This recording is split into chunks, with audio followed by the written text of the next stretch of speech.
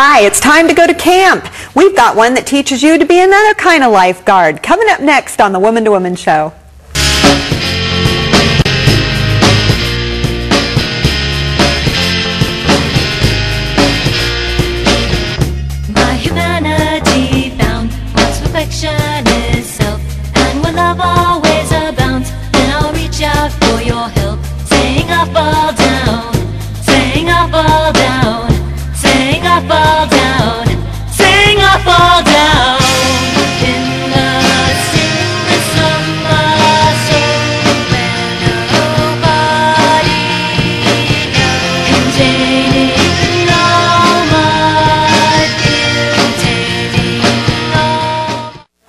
I'm Luann. Welcome to the Woman to Woman Show.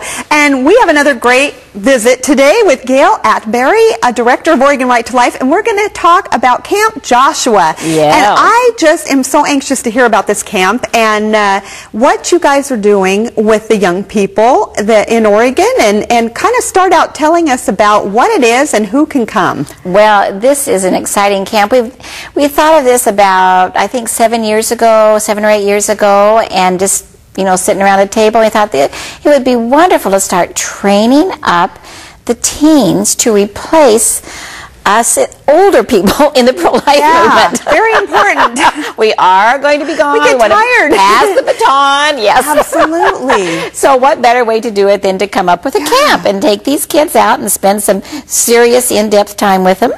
Fun time, but serious time. yeah. And so we came up with Camp Joshua.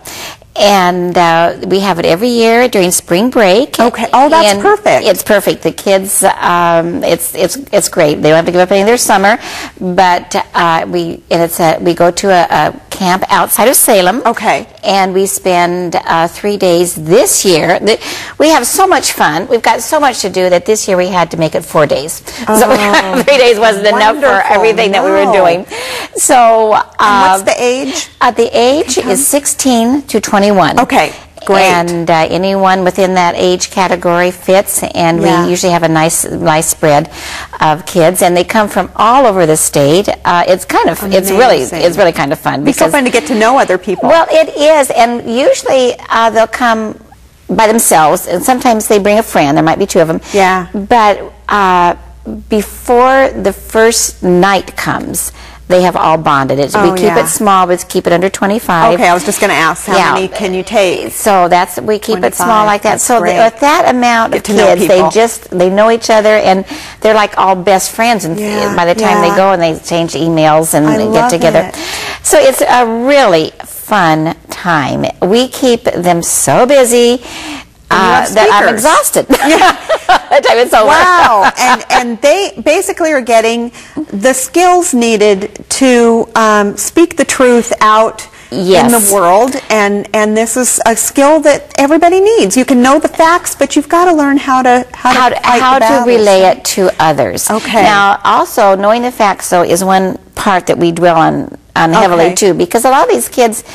Uh, while they do know something about abortion and, and why it's, you know, it just kills a baby, and uh, Right. uh, sometimes they don't realize the full impact that an abortion has on the mother and the sadness that a mother lives with It's not talked for the rest of their Of lives. their life. And the dads, uh, it, inf- it affects the fathers Yes. of the baby.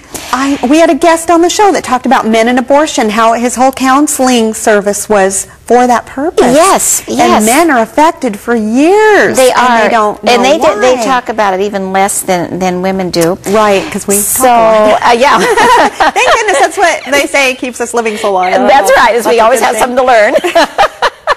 so we have what one panel we have is composed of women and usually a man that have had abortion and they talk with the Didn't with the kids that. about you know why they had the abortion in the first place how how it affected them afterwards what they lived with and how they finally found healing and peace with the decision that they'd made and forgiveness Oh, I love that. uh, so it's this is this is probably the best uh, panel discussion we have during the whole time because you know the women bare their soul and the Yeah. kids really see the Up close the, the and destruction of abortion not only to the baby Yes. but to the the, the, the ladies, the women that are left behind.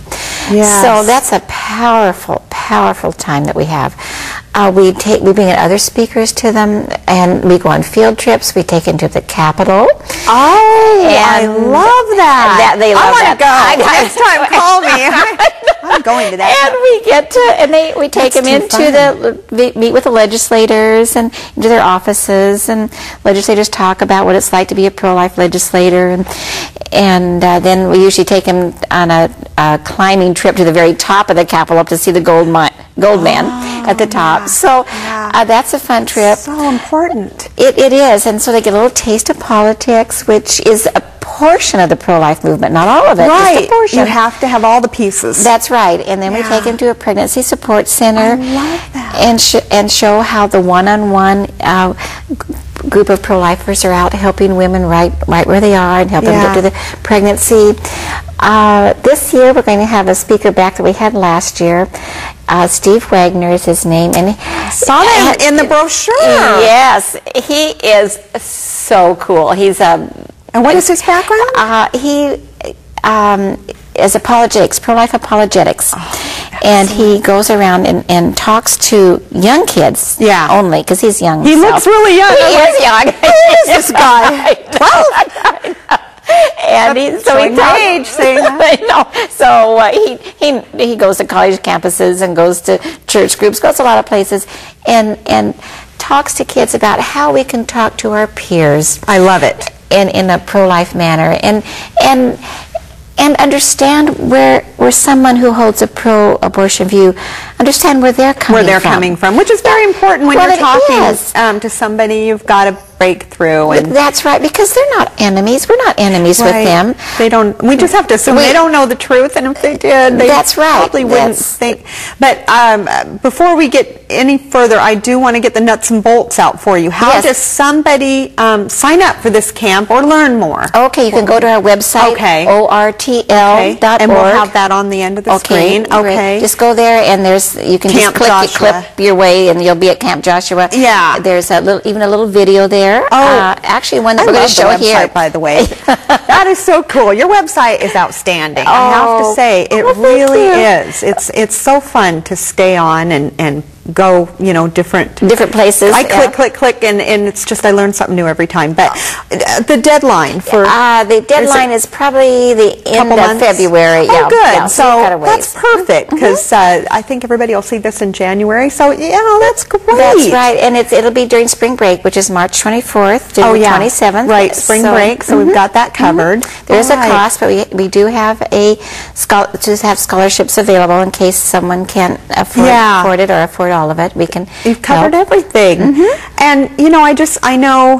having, uh, you seeing the young people all the time, Mm-hmm. I know you, you hear stories and you see wonderful things that happen. And if you could just say something that kind Oh. of impressed you or that, I don't know, something well, about one of the kids. They, all the kids go away completely changed and energized. My one particular story, which is very tiny, but it meant so much. There was a ver- there was a boy that came that was very shy and quiet. Yeah.